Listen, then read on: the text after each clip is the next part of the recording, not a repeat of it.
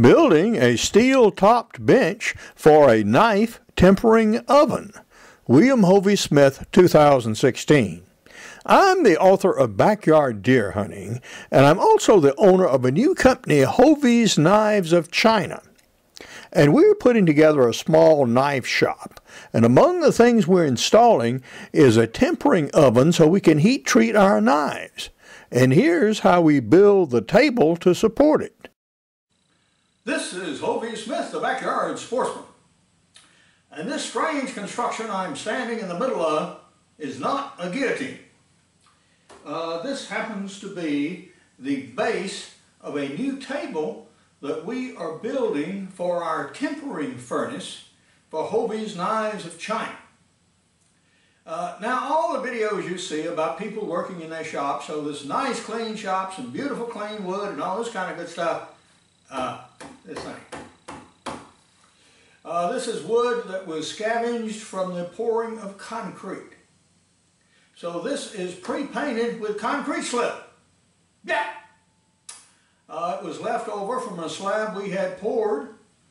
The contractor left it. I dug it up, waited 30 days. He didn't claim it, so all right. Good wood, gets used. Uh, this table is going to have a steel top and that top is going to be 1 8 inch thick, which is pretty thin to have a long unsupported span.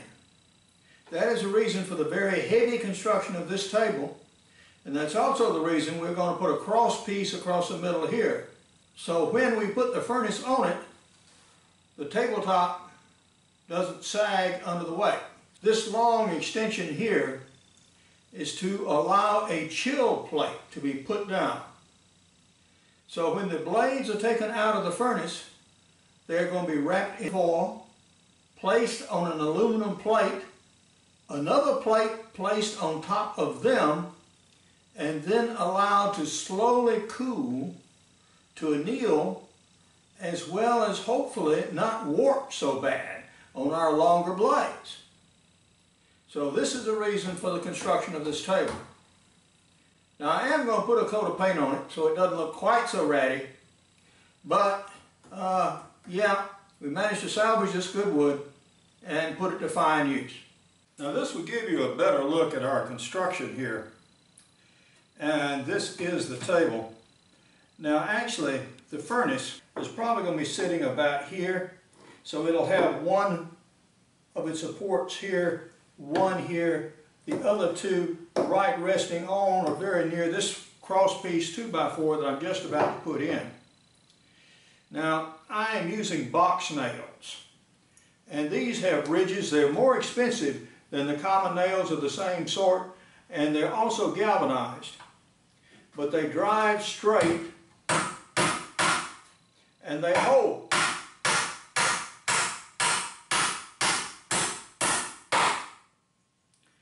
Now if I were building a piece of furniture for the Queen's Chamber, I guarantee you I'd do something a little more sophisticated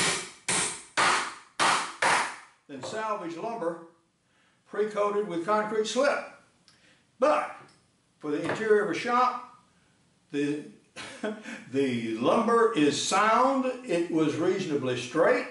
Uh, very rare these days to get pieces that are fairly straight and solid, but a little bit grungy on the outside. Well, I can do with a little bit of grunge. Prior to getting started with painting, we're adjusting the structural stability of the table. Now we put our piece of metal on this portion here. And so this more squarish piece uh, is very, very solid. The legs are all bearing well. Uh, they're bearing evenly.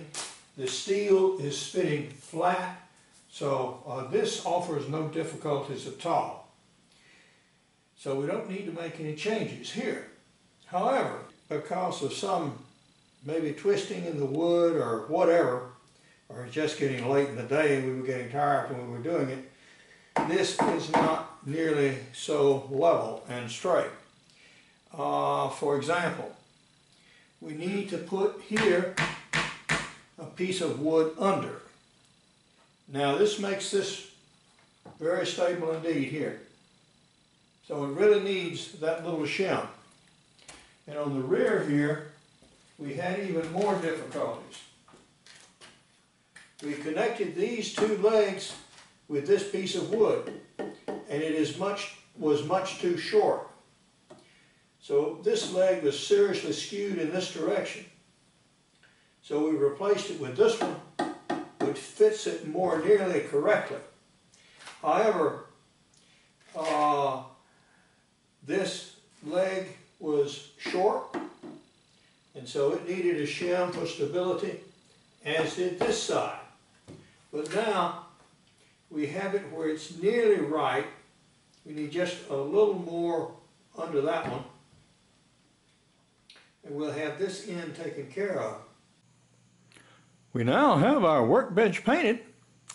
And next time you see it, we'll have some steel on it and maybe even an oven. Our homemade bench for holding our tempering oven is now been completed. And it turned out very well and very solid indeed, particularly when we put metal on the top of it. Uh, this is our tempering oven. It runs up to nearly 2,000 degrees, although you don't usually run it at that temperature.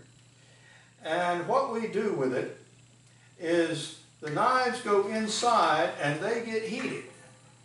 Uh, they get heated to uh, something between an orange and a white heat, usually.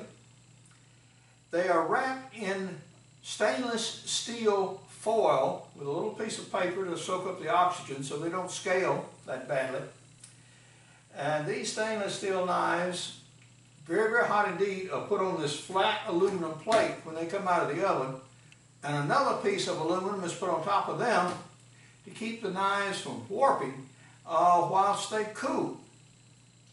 Otherwise, particularly the longer blades will tend to take some sort of twist or bend, which you really don't want to have happen in your knives. The table itself is very stout. If you wanted to, you could stand up on top of it and dance a fandango, but I ain't going to do that. However, uh, some interesting things were learned. Uh, this was lumber, of course, that was coated with concrete slip, and it repainted just fine. Of course, the surfaces are a little rough, but in a shop, well, it'll do, do good enough. And we have this furnace moved away from the wall a significant distance. Again, to keep this vinyl on the back from actually warping and melting under the escaping heat from this furnace. I don't know how much it's going to generate on the outside, but we will certainly find out and we will certainly see. The steel on top of the table, of course, will conduct heat very well, and no, we don't have any problems with these wooden members burning or any such thing. Uh, it's got enough distance here, plus the absorption of all this steel and metal, yeah, uh, that's not going to happen. So if you have to build a bench for a furnace like this to treat knives, this dog leg shape is very desirable. This way a person can stand here with forceps, take the blades out, put them immediately on the chill sheet, get his five or ten or however many out, lay it out, put the top cover plate on it, and with just moving of the body, he doesn't have to carry a knife any distance to put it down and do something with it, which you don't want to do when you're running around with a knife that's white hot, guaranteed. You want to just lift it, move it, put it down. So, uh, we're going to be off and running with this, and when we temper the first batch of knives, uh, we'll let you see how. One thing I need to tell you about is this 220 plug. Now this was a 220 plug that we actually had, but as you see, the one that came on the machine is much different in shape. You can convert them, and it just involves changing three wires. But you want to make sure the ground wire goes in the right place. The other two can go on either side since this is a heating unit and doesn't have an engine that needs a current flowing from any particular direction. So uh, yeah, you can reinstall these yourself. Just pay particular attention where the ground wire goes. And of course, you want to make sure you turn off all the current when you do it. But now, this is Hovey Smith. reminding you to hunt what you eat and eat what you hunt.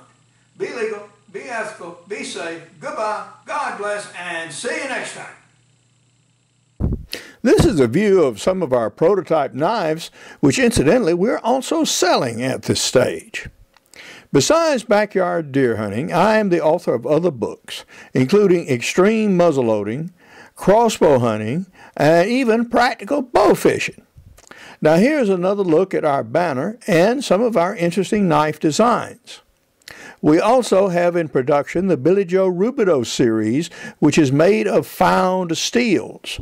And here you see our rib flipper and forge cleaning tool made from parts of an old lawnmower and a chef's knife produced from a scythe blade that was made sometimes back in the 1800s. Now, initial production of our custom made stainless knives is going to start in January. In the meantime, a few prototypes are available for sale. Now, you can place an advance order at the web address below. For more information on my books, blogs, and more than 525 videos, you go to my website, www.hoveysmith.com. Good hunting and good eating from the outdoors. Goodbye and God bless.